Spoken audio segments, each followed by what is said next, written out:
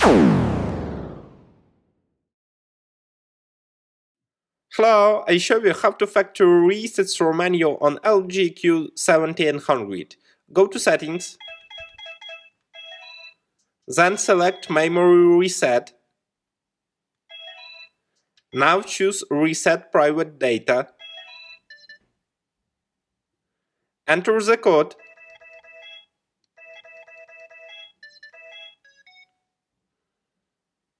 Finally, choose what do you want to reset. Thank you for your attention, subscribe to our YouTube channel and rate the video.